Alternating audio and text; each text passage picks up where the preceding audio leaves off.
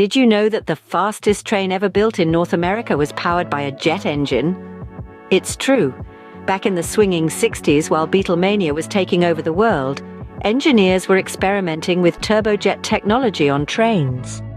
The American turbojet train, a marvel of its time, was designed to reach breakneck speeds, with estimates suggesting capabilities between 155 to 217 miles per hour. This was an era of innovation and discovery, a time when the boundaries of technology were pushed like never before. Engineers and scientists were exploring ways to revolutionize transportation, and one of the paths they ventured down was turbojet trains. Despite the challenges, they pressed on, driven by the sheer thrill of innovation and the dream of ultra-high-speed rail travel. This groundbreaking experiment marked the beginning of a new era in rail technology a legacy that echoes even today as we journey towards the future of transportation. But the story of jet-powered trains didn't start in America. It goes way back to the early 20th century. In 1917, an ambitious Soviet engineer named Valerian Abakovsky took the first step towards marrying the technology of air and rail. His creation, the Aerowagon, an experimental high-speed rail car that was, quite literally, ahead of its time. This innovative invention was powered by an aero engine and a propeller. Imagine a regular train car, but with a propeller sticking out from the back. Sounds like something straight out of a science fiction novel, doesn't it? The Aerowagon was designed to transport officials quickly across the vast Soviet Union. It could reach impressive speeds, but its life was cut tragically short. On its test run from Moscow to Tula, it derailed, resulting in the loss of several lives, including its creator, Abakovsky. While the Aerowagon's journey ended in tragedy, it marked the beginning of a new era of experimentation in rail transport. Fast forward to 1930, and we find ourselves in Germany, where the Schienen Zeppelin or Rail Zeppelin was taking its first steps, or should we say turns of the wheel. This experimental railcar, like the Aerowagon, was powered by a propeller and an aero engine. But the Rail Zeppelin was different. It was sleek, streamlined, and its silver aluminium body made it look more like a Zeppelin airship than a traditional train. The Rail Zeppelin was a speed demon, reaching a top speed of 143 miles per hour, or 230 kilometers per hour, setting a world record that stood for over two decades. But despite its speed and innovative design, the Rail Zeppelin faced its own set of challenges. Safety concerns due to its exposed propeller and the inability to pull additional cars led to its eventual demise. These experiments, though not entirely successful, paved the way for future research and development. The Aerowagon and the Rail Zeppelin, despite their shortcomings, stand as testament to human ingenuity and the relentless pursuit of speed.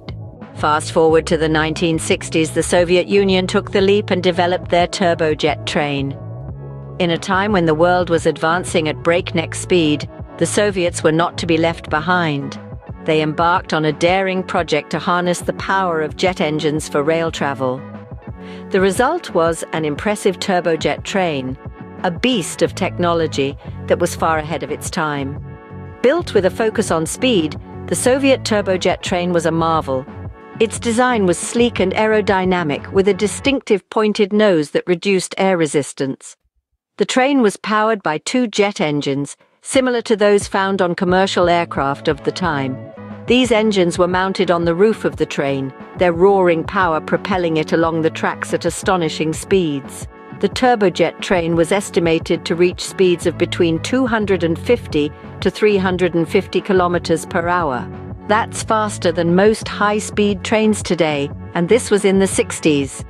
It was a testament to the engineering prowess of the Soviet Union and highlighted the potential of jet-powered rail travel. However, this ambitious project was shrouded in mystery. The turbojet train was discovered on an abandoned rail line, a relic of a time when the boundaries of technology were pushed to their limits. The circumstances of its abandonment remain unclear, but the train stands as a monument to the daring spirit of the era. Despite the uncertainty surrounding its fate, the turbojet train sparked a revolution in rail technology. It demonstrated the potential for high-speed rail travel, paving the way for the development of modern high-speed trains and maglev technology. Despite its eventual abandonment, the Soviet turbojet train remains a testament to the bold and innovative spirit of the time. Jet-powered trains, though fascinating, were not without their challenges. As these technological marvels roared down the tracks, they faced hurdles that were as formidable as the speeds they achieved. One of the most significant challenges was the high fuel consumption. Jet engines, by their very nature, are thirsty beasts. They're designed for speed, not efficiency, and when you're trying to move a train, that's a problem. The turbojet trains of the 60s, for instance, gulped down fuel at a rate that made them economically impractical for widespread use. This high fuel consumption was a major roadblock on the path to making jet-powered trains a viable mode of transport. Safety, too, was a major concern. Trains powered by jet engines presented a unique set of risks.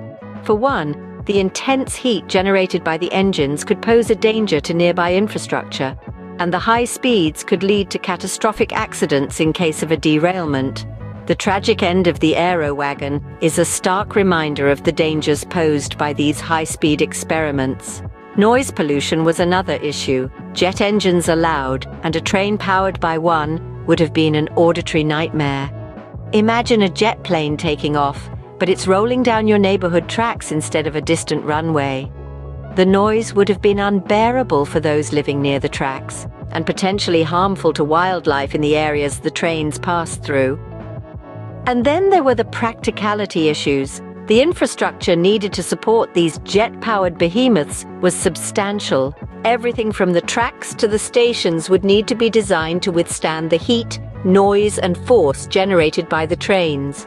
These hurdles, however, did not halt progress, but rather fueled further innovation. The challenges faced by jet-powered trains drove engineers and scientists to seek out new solutions, leading to the development of the high-speed rail and maglev trains we see today. So while the era of jet-powered trains may be behind us, their legacy lives on in the technology that continues to transform the way we travel. The legacy of these experiments is evident in the high-speed rail lines and maglev trains we see today. The audacious attempts to harness jet engine power for rail transport, despite their challenges, have undeniably shaped the trajectory of modern rail technology. Let's take a moment to appreciate the high-speed trains of our time. These marvels of engineering, capable of reaching impressive speeds, are a testament to the early pioneers who dared to dream of a faster future.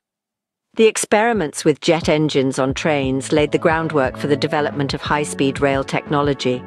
High-speed trains, such as France's TGV and Japan's Shinkansen, are now a staple in many countries, providing efficient and quick transport across vast distances.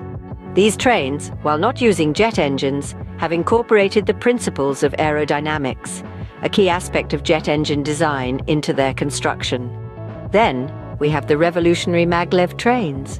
Maglev, short for magnetic levitation, is a technology that uses magnetic fields to levitate trains above the track, reducing friction and enabling higher speeds.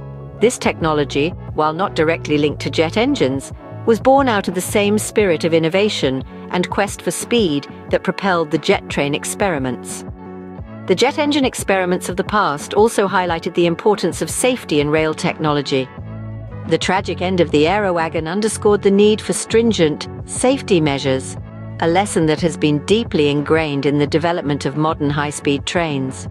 The story of jet-powered trains is more than just a tale of audacious engineering. It's a tribute to human ingenuity, a testament to our constant yearning to push boundaries and reach new frontiers.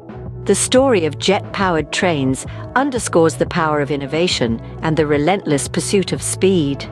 From the Aerowagon to the American turbojet train, the journey of jet engines on rails has been one of innovation, challenges, and relentless pursuit of speed.